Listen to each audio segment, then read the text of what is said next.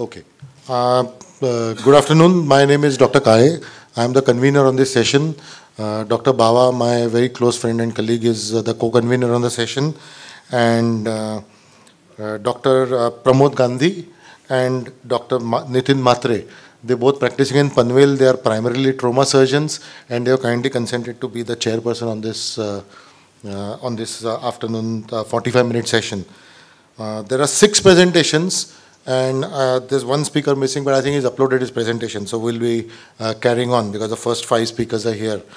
So there are a few interesting mix of uh, topics like Masquelet technique, uh, periprosthetic fractures, uh, decision to graft after fixation of fractures, percutaneous iliosacral screw fixation, and bridge plating, uh, or a need for second plate and bone graft, etc., and some augmentation failures by the last speaker.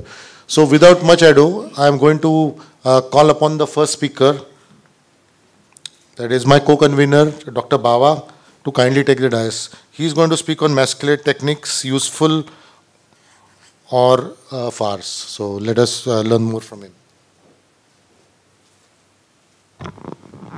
Thank you, Dr. Kale. Good afternoon, everybody. I am going to speak about Masquelet technique, whether it is useful or farce. First, let us see what is Masquelet technique. Masquelet in 1986 came out for treatment of infective gap nonunions. The gap was created basically due to trauma, resection of tumor, infected tissues, or iatrogenic. So he introduced a two-stage approach. Basically, it was called an induced membrane technique for reconstructing segmental bone defects with infection. So what is induced membrane technique? In stage one, there is debridement, remove the dead devitalized tissues and curate the bone till the bleeding edges. At the same time, send the uh, specimen for culture sensitivity and then add cement spacer. This cement spacer which was added which was without antibiotics and apply fixator. Masquelet preferred a external fixator to be applied, primary stabilization.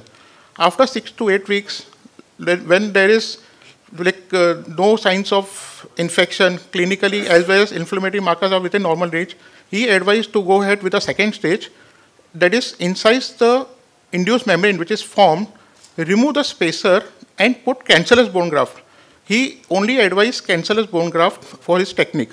Okay. At the same time, you do internal fixation and soft tissue reconstructive procedure as and when required. Induced membrane, basically it was a foreign body type of inflammatory reaction which was rich in growth factors. This induced membrane basically is a highly vascular, acts as a barrier, prevent cancellous bone resorption, it causes consolidation of bone graft and preserves and protects anastomotic flap pedicles. What are the size of defect? According to Masquelet, there is no limit to the size of defect. He advised at, at least up to 25 centimeters have been treated successfully. What was the time of union? According to him, it was like union was 7.5 months post second stage. So what were the issues or concerns? Basically, large amount of uh, cancellous graft was required for big defects, and there was resorption of the graft. Of course, it affected the mechanical properties being a cancellous graft and leads to failure because of infection also. And there was increased number of interventions, almost in the mean range of around 6.2. So, what were the contentious issues the problem was, and how much we have tried to correct it? Let us see.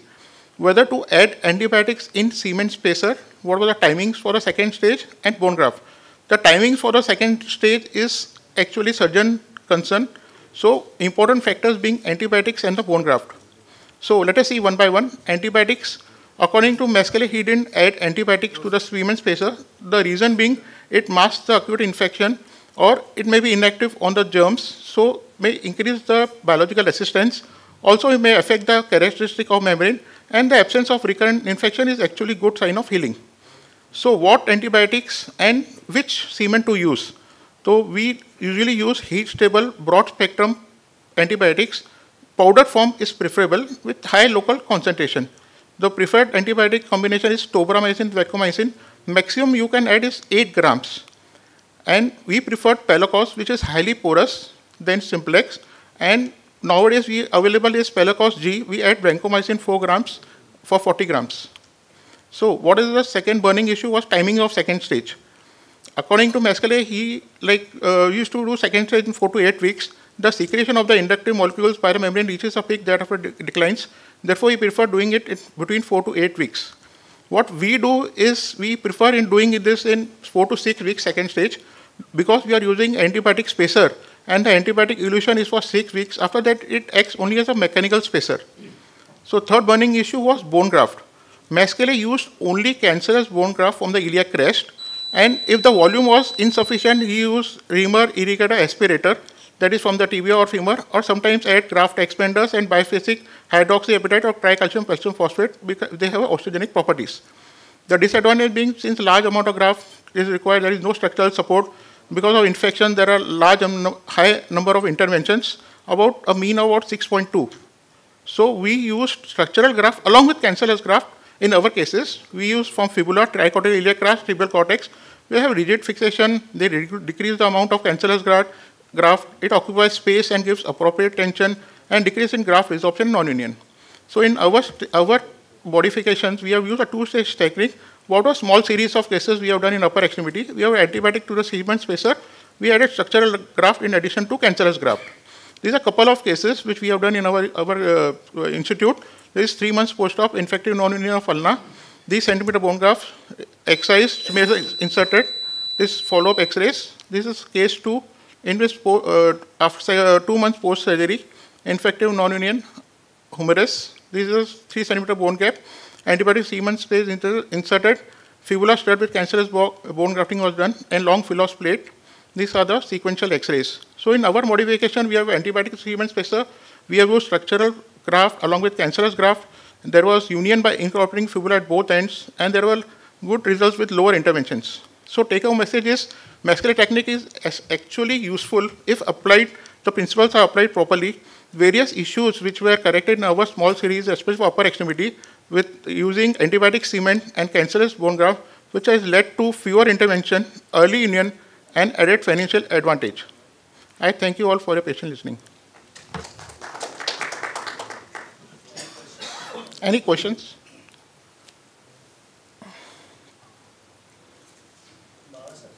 Yes. Does the suturing of the membrane or non-suturing of the membrane yeah. affects the uh, union line? Yes, the membrane which Masquelet described is incising the membrane, remove the, uh, remove the spacer, put the graft and suture the membrane lightly, but not very tight. So he has advised that. In our cases, whatever membrane we get, but actually we are, it is like our bone is, because we are doing a stud graft, we are incorporating at both ends. But we have to suture the membrane with very, not very tight sutures. In your cases, you have used stud graft as well as cancer Yes, we are using stud graph along with cancellous graph. Any other question? Thank you. Thank you. Uh, Dr. Surinder Bawa, thank you very much. I call upon the next speaker, uh, Mr. Do sorry, Dr. Harpal Sethi, Selhi. Uh, my apologies. A decision to graft after fixation of fractures. Dr. Selhi. Good afternoon. This is the topic which was given to me, and I thought over it what to speak because there's hardly any literature if we search it. One of the articles I found was 1955, one of the first articles on bone grafting. So then I looked back into my practice and tried to see what we have been doing and then looked for the literature to support. So why do we need bone graft? Most commonly nowadays is structural. When you need support, like he said, a strut graft and a cancellous graft, you need to fill in the gaps. You need osteoinduction. Cancellous graft is added. And you need osteogenesis. A lot of people use cancellous graft or they'll use bone marrow aspirate also for osteogenesis. So fresh fractures, the thing that comes to my mind is the depressed fractures that we elevate, like in proximal tibia or calcaneum fractures. Slowly we are drifting away from the bone grafting even in those. The evidence that's coming in is even if you don't graft, either you use uh, supplements, artificial supplements, or clones, but you don't take out of the patient's body. Proximal humerus, a lot of people say that you need a medial support. If you cannot reconstruct a medial calcar, you need support in the form of a fibula or a tricortical graft. So another site which we commonly, majority of us use in clinical practice, not everyone, again there are too many ways to skin the cat, some people would agree with me, some will not. Distal femur, again the medial side defect, lot of controversies whether we should plate or put a strut graft. Again, too many ways to skin the cat. So just showing some examples, this is a young medical student, not from our own hospital, uh, presented to me with open fracture, head injury and multi-trauma patient. This is what I was able to do on day one, debridement and nailing. Few days down the line, she had discharge from the fracture site for which I had to do a re-debridement and then put in antibiotic cement beads took out the beads after the infection settled, the bio, uh, biochemical parameters were normal, and it goes on to unite on its own. A lot of people might debate this needs a bone graft. In my view, it did not. And I was lucky. I won't say that it, it's because of my smartness or intelligence. I have been lucky in this because infection is one scenario we should consider to have a quick healing. Go ahead and bone graft. Now this, is it a surgeon failure or is it a non-union? Right? Again, do we need a bone graft here? How many of you agree on a bone graft here? He's a young patient, software engineer, 24 years old, not married as yet. biomechanics are not there. Yeah. So I went ahead, corrected the biomechanics, no bone graft, and fracture goes on to unite. He's walking around, he can squat on the bed, and work on his laptop. Another one, a elderly lady. The X-ray looks like elderly. She's just 45, had fracture neck femur. Somebody did a bipolar. She presents to me two years later with a fracture, uh, periprosthetic fracture. This kind of osteoporosis, people will say onlay graft, cancellous graft. Again, I'm I'm not totally against grafting, but I desist from doing grafting.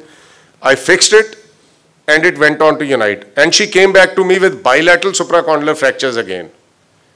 This is one side, I fixed it. Again, on PTH therapy because of osteoporosis, she has united on this side also. Now, this is a scenario where I would say, I, this is my failure. I should have grafted on first day because here the biology is not uh, normal. She had an atypical fracture following bisphosphonates and I should have done a bone grafting. This is my failure. One should not be too overconfident. Another condition in my practice. Is there a distal locking through? Yeah. Another. Sir, Uh. Another, another is a distal femur. If there is a defect and there is an instability, supplement and bone graft. It is mandatory. It's a gospel truth. We have seen enough failures and we don't want to see more failures in this. So fresh fractures in my practice, if it's a gap, it's usually an open fracture. There I would respect, I would focus on the soft tissues and infection and then go ahead with the graft like in the distal femur. For fresh fractures, combination where open reduction and internal fixation is being done and there is no contact grafting can be considered. It's basically for structural support or for defects, comminuted fractures as we discussed, and basically for non-unions. Acute, in my practice, has no role. Thank you. Thank you, Dr. Selhi. Uh, we'll take one question from Dr. Tanna. Alendronate fracture, which you showed, is not very susceptible to a grafting healing. Because there is, first and foremost, you need an additional, additional plate over it. And the graft which you take, autograft itself is also defective. Defective. So I feel you need a BMP if at all you want to use it. Sir, first of all, my, uh, let me admit, it was not part of the talk, so I haven't desisted. It's a wrong fixation that I've done. Uh, I would prefer something where there's compression on day one. I would like to compress this fracture and angle blade plate is the best implant for this. Not for alendronate fracture. You need an intramedullary implant Additional Plate. plate is different thing. Exactly. That additional plate, if it's a nail, additional plate and totally in contact. So ABC, alignment, biology and contact is must for these fractures. Thank you, Dr. Selhi. With due respect, we have to move on to the next speaker. I call upon Sunil, uh, Dr. Sunil Handralmath for his presentation on percutaneous iliosacral screw fixation. Dr. Sunil. Good afternoon, respected Tanna sir and my dear friends. We're talking on percutaneous fixation of sacroiliac joint. I'm working at uh, Dr. Vaishampayan Government Medical College, Solapur. Uh, so Young and Burgess classification, Tiles classification, I think everybody is well versed. These are the sacral fractures which alar zone, foraminal zone and central body fracture where central and longitudinal transverse fractures we are interested in. These are the tiles A, B, and C, which stable pelvic ring, partial unstable, and completely unstable, where shearing fractures, rotational forces come in, come in force, and there will be a vertical as well as rotational translation of hemipelvis. So apart from pelvic damage control, including the external fixation, wrapping pelvis, pelvic compression bondage, uh, external fixator, pelvic C-clamp, apart from embolization of uh, uh, pelvic packing and embolization of pelvic vessels, uh, we have to deal with the grotous pelvic injuries in such. So what are the indications of percutaneous fixation? Any unstable anterior ring injury which involves pubic diastasis more than 2 centimeters, 2.5 centimeter, any sacroiliac displacement more than 1 centimeter, and any vertical shear injury more than 0.5 centimeter need to be fixed. So our total 28 patients we managed and uh, evaluating our Solapur pelvic score, I will tell you what it is modified Majeed pelvic score. We just included what I will tell you later. So this is Majeed score which includes pain, work, sitting, sexual intercourse, standing, gait and walking. What we indicated, uh, uh, included is addition of squatting and sitting cross-leg for our farming uh, area patients. So what you need is a very good anterior-posterior radiograph and a 2D and 3D recon images of the pelvis, as well as you will need a very good intraoperative assistant of high-resolution C-arm intensifier. And what armamentarium you will using, a simple drill and long threaded TFN guide wire 1.8 mm, and you may need a 6.5 mm cannulated cancellous partially threaded as well as completely threaded, uh, including uh, 8 mm as well if the um, hefty male is there. So what you need in uh, lateral radiograph is what the red line indicates, slanting line. That is what we call as a iliocortical density line, which is formed by the uh, formed by the ilial cover overlap over the anterior sacral promontory. This is where uh, the bone is dense, and your lat in lateral view, your guide wires should be bang on ICD line. So as you can see, and in anterior posterior view, as far as possible, you maintain the parallelogram uh, of two guide wires to have a, the better fixation. So it's surgeon's preference whether he is well versed in supine or prone, uh, and uh, this should be the table and uh, this should be the uh, C arm which uh, to get an inlet and outlet view. Even in prone position, you will be able to do the same spine position which with the bolsters you do. In prone position, what you see is uh, the 30 degree, I will explain it in guide wire in next slide. And this is a very narrow, narrow marginal window you get for percutaneous fixation. So this is how uh, the, this parallel. So 30 degree downwards, 30 degree downwards and 30 degree cephalocaudal uh, should be your direction of the guide wire. So you basically trying to hit the sacral promontory, anterior uh, uh, margin, anterior one third part of the body of the sacrum, S1 and S2. So that uh, should be the your, your goal in passing the percutaneous guide wire. And while drilling, you drill it and then stop and then try to hammer it. Get the feel of the bone and sound of the sound of the bone. That will definitely give you the better idea whether you are in dense bone or not. Any feeling of the lost way, stop it, retrieve the guide wire and try it again, once again. So this is narrow zone, safe zone, anteriorly guided by the pelvic vessels and posteriorly neural elements. So basically you get only 2 centimeter safe zone where you can pass. Again, the importance of ICD line is very important. Laterally, you should be bang on this. Your guide wire should lie on the ICD line. So this is uh, one of the 3D view where you can pass a guide wire downwards as well as towards the leg end of the 30 degree, 30 degree Um, here, sacroiliac dissociation, you can pass partially threaded, but in sacral alar fractures or foraminal fractures, pass a completely threaded cancellous screws. Wa- Because these are positional screws, you don't want any compression or pinching of the S1, S1 nerve root. So there are advantages of supine and prone as well. Supine is anti simultaneous anti-ring stabilization can be done. Difficulty uh, is uh, passing screw from posterior to anterior. Uh, while fracture displacement of sacral joints may not be reduced. In prone, definitely there is direct reduction of the SI joint, easy positioning of the screws, and uh, bowel gas shadow may not interfere with that.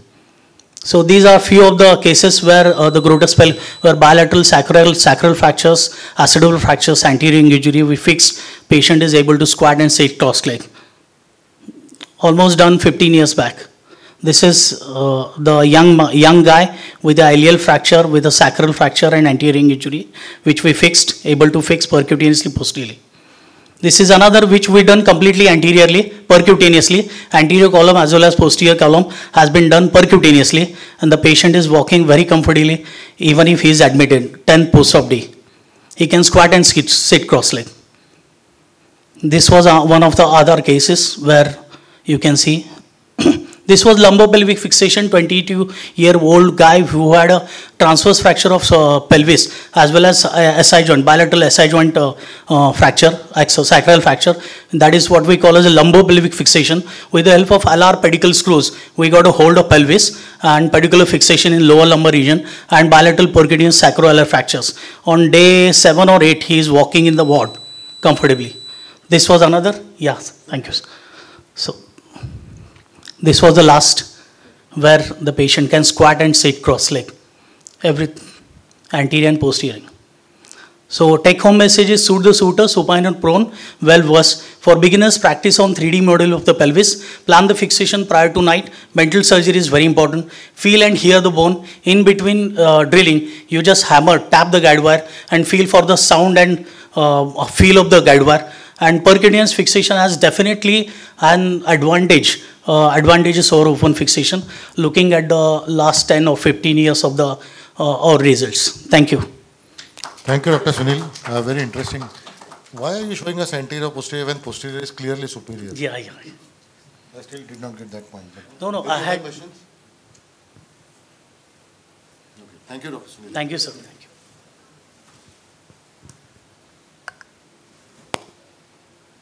May I call upon Dr. Satish Kale to present periprosthetic fractures of the proximal femur? Keep sign please for the day.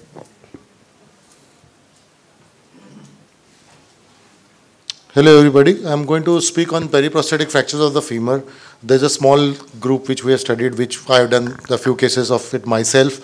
Now, I'm not going to go and uh, tell you about the routine periprosthetic fractures. I'm going to only tell you what has changed and what we need to look for now.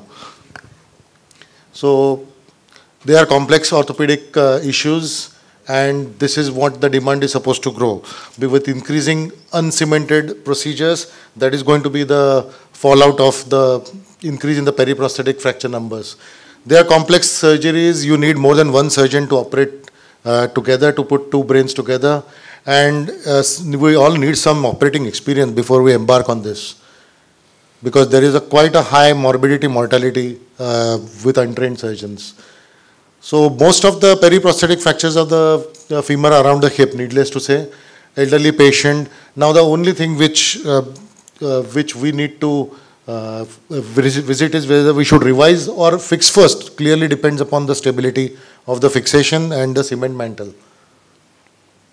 Out of all the risk factors, these are the common risk factors. Ladies outnumber men. Uh, the second one is also important, uh, dementia, Parkinsonism, epilepsy. And these, I think we should not lose sight of. They are iatrogenic, which we are responsible for.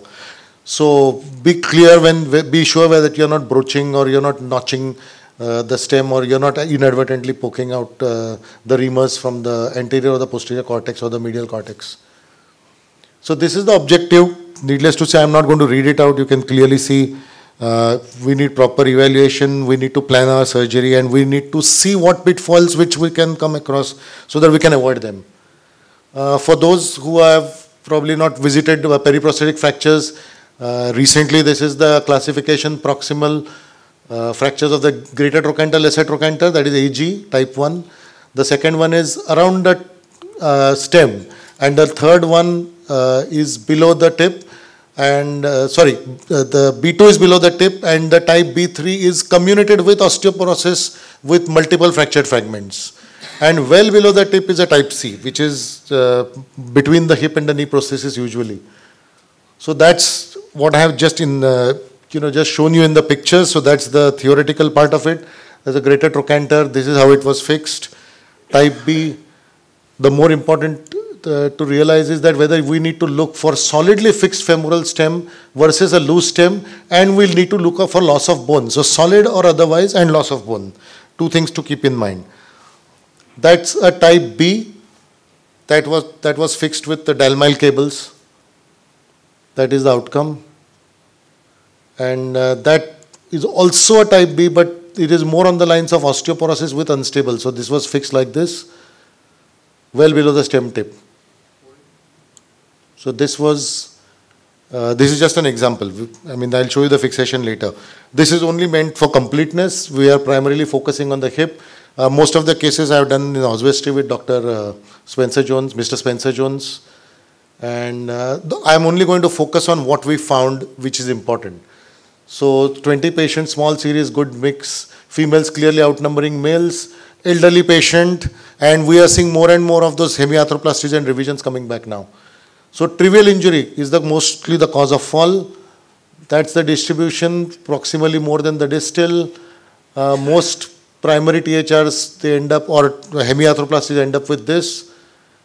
This was the, our uh, distribution in the series which we studied. Time since primary surgery can range from anywhere from 18 months to 13 years. Uh, some contentious issues here. I have just uh, heard a presentation where they said we should not bone graft, but I strongly feel about bone grafting, as has been taught to me by my teachers as well. This is the outcomes which, uh, which is assessed as per Beals and Towers criteria. What we need to look for is two measures now. What has changed, as I said. This we are not aware of when we were uh, maybe 10 years ago. So you need to assess diaphyseal cortical bone ratio, which is the ratio of A, min A minus B divided by A, and the ratio of 0.49 is the best indicator of proximal osteoporosis of the femur. So it is a uh, measure of the diaphyseal cortical bone thinning. So that's one parameter which you need to assess and document preoperatively. And the second is metaphyseal cortical bone thickening, and that's what it is. Now, this figure is actually a little bit faulty, so I will come to the next figure. It's actually the outer diameter divided by the inner diameter, and that's the line actually. B divided by D, that's actually the line. Torch so you need to basically uh, document both the indices. There are several other indices which I will not go into because they are academic interest and we cannot be documenting each and every one. So beware. Female gender, uncemented prosthesis, oversized femoral stems, revision surgery, and please document preoperatively if there is a, a severe osteoporosis so that we can appropriately explain to the patient. These are a few cases which are around the knee and mostly around the hip which we had fixed and satisfactory outcomes. Now, what I want to give you is the take home message, as I said. The take home message is good preoperative planning. Keep a range of hardware uh, ready and get good assistance. I can't emphasize, overemphasize the importance of having an assistant surgeon with you who is fairly experienced. Then document those ratios because that is going to help you in medico-legal cases if should something go wrong and there is a high morbidity and some mortality with this document specific complications likely. There's been a recent uh, article in the papers you are all aware of it. The Dall-Miles cable systems is you have to be very conversant with this. It's extensively used. I would extensively bone graft contrary to what one of the speakers said earlier. Avoid cement at the fracture site. In long stem revisions bypass it by at least 3 diameters. Initially it was 2 now it's 3 do not notch the distal femoral shaft and be mindful of the CBR. Do not over-ream proximally or distally. So know your limits and operate safely. That is my message to you. Thank you.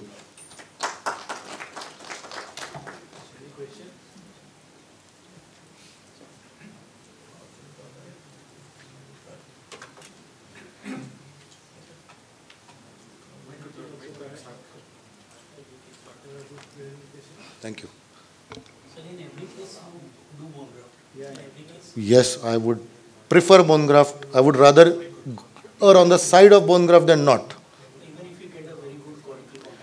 It's, you know, that it can have uh, post fixation osteoporosis locally, especially if you have done an iatrogenic injury. Uh, I call upon the next spe- speaker, Dr. Kashyap Ardeshna. Is bridge plate alone sufficient? Need for second plate and graft? Dr. Kashyap.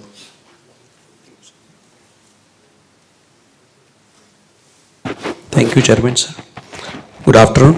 Uh, the title is little different. It was some print issues. Is bridge plating alone sufficient in distal femoral fractures or there is a need of second plate or graft? So we know it's a relatively common fracture. It is lots of uh, complication, malunion, non-union implant failures. There are a lot of different implants available. But what we are going to speak upon is a bridging plate in distal femoral fracture. The bridging plate, it's not always a locking plate, right? Angle blade plate, DCS, and different type of uh, locking plates are there. So bridging is a concept rather than a plate. So is bridging plate alone sufficient in distal femoral fracture? That is a question one. So we take a case where there is a comminuted distal femoral fracture and we have fixed with the bridging mod, only the big cortical piece is lagged and then, when, then we see the follow-up of this patient. So there was a nice healing with the lateral plate alone. Another case, TK done, 75 year lady, 7 years passed, no knee complaints, uh, extra-articular distal femoral fracture. We did a single distal locking plate in a bridging mode. We did a dynamic construct for relative stability principle we applied. And we can see at 3 month, patient was uh, walking almost full weight bearing. And uh, these were her uh, knee range of movements. And if you look at 11 months, absolutely anatomically healed, healed well with the callus formation without any deviation in the axis of the joint. So bridge plating in distal femoral fracture, there are some advantages. So locking plate has revolutionized the management principles. It works as a bridging internal fixator. It uses the relative stability principle and predictable healing occurs by callus formation. It can be applied biologically with minimal tissue trauma and there is an ease of application. But but these pictures are also not uncommon. And for that reason, it is infamously known as a non-union machine. So these are also the problems which happen uh, in some say 15 to 20% of cases. So there are disadvantages to plate too. So it's a load bearing device. It's not very good when there is a medial comminution. Implant failure is not uncommon. And in one of the uh, study by Ricci, the reoperation rate was touching to 20% and there is a poor screw fixation in osteoporotic bones and there are bigger incisions if you don't uh, do it by MIPO technique. So, is there is a need of something? So, we take one, one case, a 40 year lady had a polio limb and this fracture was there and it was fixed like this. And then within a short time, say two and a half month, the plate is displaced. So then we operated this patient again. We did a dual plating. We added a bone graft, and this is a six month clinical result of that patient. So what factors we need to be addressing when there is a distal femoral fracture? The factors are mechanical as well as biological. So we look upon the mechanical factors. Mechanical factors doesn't mean always a stronger fixation, always addition of medial plate. So we need to do a proper stress distribution into the bone, into the fracture, into the plate. So that's known as a concept of stress modulation. So with many of uh, these cases, with a single plate, if you do proper stress modulation, then you can very well heal those patients with the single plate. So what we need to do is, we need to use a longer plate, longer working length, the screw density should not be more than 50% and 2 to 3 screws only in a proximal fragment. The terminal screw can be placed conventional. And titanium is always better than SS when you are working, speaking about uh, stress modulation. And whenever possible, we should do it minimally invasive. This is again a case, severely comminuted distal femoral fracture. We did a uh, uh, bridge plating with a lock plate the, using the, these principles and we can see there was a nice healing at 9 months. So that's not an out, right? So improving mechanics doesn't always means putting an additional medial plate. You put the plate properly, you get the good result. Another way of improving mechanics is a medial plate. Here is the case, there was a medial OFA, so while operating, we added a medial plate. This also you can do when, when you feel that you need an additional stability. Another thing, when there is a mechanical issues are not there, there are some sometimes there are biological issues, right? So this is a very severe osteoporotic lady, 70 year. This patient definitely would have a problem in healing. We did a lateral plate, we did a medial plate, we put a whole of a tricortical iliac crest graft in that. And at four months, there was a nice healing without any disturbance. Another case, grade 1, severely comminuted, intra-articular, extra-articular. Similarly, did a bone grafting primarily in a medial plate. At three months, we can see the nice healing is starting. So, what is the literature about this? What is the liter literature support for this medial augmentation and medial support? So, does it help mechanically? Yes. If there is a supplemental fracture fixation, then it, it will give you a more stability. Sir, uh, uh, 30 minutes, 30 seconds. Does it harm in biology? No. The vascularity is not much hampered by adding a second plate. Is there evidence clinically? Yes. The double plate has evidence if that has to be kept in surgeon's armamentarium, but it is not always required. Another article saying it is not always required. So only when it is uh, mechanically require, required, then you put it. So when to double plate?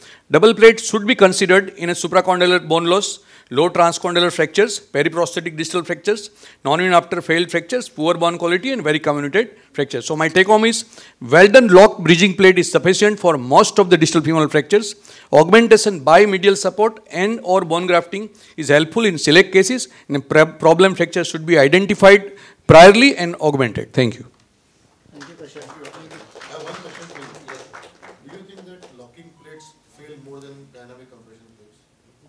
I, I, agree with you, but that's what my total emphasis of uh, technical points during this lecture. The locking plate, failed locking plate, if you assess, most of the failed locking plates are not well done. Not done by the principles which are outlined in many of the literature as well as this talk also. The, if you look at the failed plates, either they are SS plates, longer working length, number of screws there, very rigid fixation or a very wide gap. So most of the locking plate when it is failed, it is failed per-operatively. So uh, when it is not well done. But the difference between a locking plate and a normal plate is only osteoporosis. Yes. In an adult, in a young bone, even if you put a normal plate with just few screws, which you have done it, it will work the same thing. I, I, bit, I will differ on that because when you put a locking plate, the locking plate and the locking bolt construct becomes one. So it will work as a one total elastic structure. But when you put a cortical screw, the cortical screw will fix your bone with the friction. So it will, the first screw only will act, that area only will act as a elastic fixation. While if you put a longer plate, two, three uh, spaced locking screw, then whole construct will be actually having a dynamic uh, modulus. Yes, sir. That, that's always. I think the in the locking plates, the screws lock to the plate. It's got nothing to do with the bone. So if there is osteoporosis, you know, that's how the high failure rate. Anyway, thank you. Thank you. I call upon the last speaker to speak on augmentation failures, uh, Dr. Aditya Bharadwaj, please.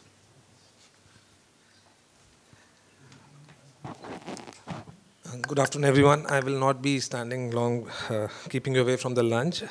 So to, when I was given this topic, I was first reaction was a bit augmentation karna shuru kiya, failures kahan se. But uh, to begin with, what is augmentation? As told by Dr. Kashyap, it is ad, uh, addition of any uh, substance to your construct to add uh, more stability to it. It can be biological, synthetic, or metallic. Biological can be cancellous bone graft or a fibular strut graft. Synthetic can be a bone cement or a bone substitute. And metallic can be a plate, nail, or a simple encircle edge wire. And it has clear-cut indications where there's a non-union, you can add a fibular strut graft with a longer plate and it unites. In case of a medial comminution on a distal femur, you can add a medial plate and which helps you to make a, a stable construct and helps in union. Or in a case where a nail is failing, you add a plate with the bone graft and it goes on to union. But then where it fails, it fails because of two reasons. Either it's a patient factors or a surgeon factors. Patient factors are generally the primary indication why in first place you needed a uh, augmentation. So it can be an open fracture which can lead to infection which eventually leads to implant failure or bone loss, or the comminution was severe and the augmentation uh, was not enough to support that comminution. Osteoporosis or an underlying bone disease like a tumor or a surgeon factor where it was not required, you could have easily gone away with a single plate, but trying to put an extra plate, you gave an insult to the biology and the blood supply, which eventually led to a non-union.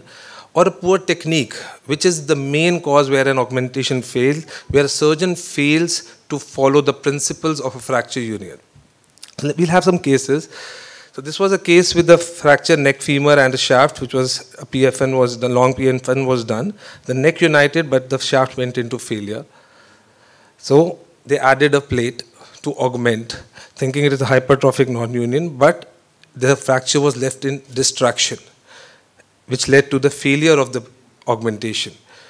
So next time, a same construct was used, but this time the principles were followed. Same nail and plate construct, but uh, edges were freshened, bone, more bone graft, and a thicker nail, and it is uniting, and the patient is full weight bearing. So it is the principles that you have to follow and not the augmentation what you have to focus on. Another case of tumor, of fibrous dysplasia, a primary surgeon did everything, nail, put a cement in, and a plate also to augment. It failed. It failed because the whole segment of fibrous dysplasia was not resected, it was not completely resected. They resected it completely with, fixed it with the nail and used that cement spacer for a Masquelet. And next time, removed the spacer, put bone graft and augmented with the plate, went into, went, uh, went in for union. Another case, an open fracture, distal femur. It was debrided, put in an external fixator, and then replaced with a plate and a uh, cement. A month later, cement was removed and allograft with the fibula was put in, but it didn't unite. Maybe the problem was with the stability. It needed more stiffer or a stable construct. One and a half years later, still CT showed no union. This time, a plate was added with the bone graft, which went on to unite. So here again, the principle was it needed to be more stable construct, and that is why a fibular graft failed. A case of distal femur again, but this time the plate worked well the last time, so the surgeon added a plate primarily with the bone graft. But many principles were not there. The length of the plate wasn't there, the proximal fixation wasn't adequate, so this also failed. So in every case, wherever augmentation is failing, it is the principles of fracture fixation which are not followed properly and the surgeon is uh, failing because of the principle not being followed. This was reamed, bone grafted and went on to unite. This was again open fracture. So last time there was just a fibula was added, then a plate was added, so the, and then the nail was done. So this time the surgeon was had nailed it, plated it, and grafted it and didn't unite still because the reduction wasn't good and the length of the nail was short. So again, the failure to apply the principles. It failed again, and coming back, fixing it with a DC uh, dynamic condylar screw, but fixing it nicely and following the principle, it united. So the take-home message is augmentation is useful if rightly used and properly used uh, with all the principles of fracture union. It is not a replacement to good reduction, not uh, if you fail to treat the underlying cause for which you had augmented it, and the principles of fracture fixation, alignment, stability, and the length, and principles of non-union, taking out the interposition uh, soft tissue, removing of the medullary, opening the medullary canals, freshening of the bone edges, fixing uh, bone grafting and then giving a stable fixation is what is going to get you union and not just the augmentation. Thank you.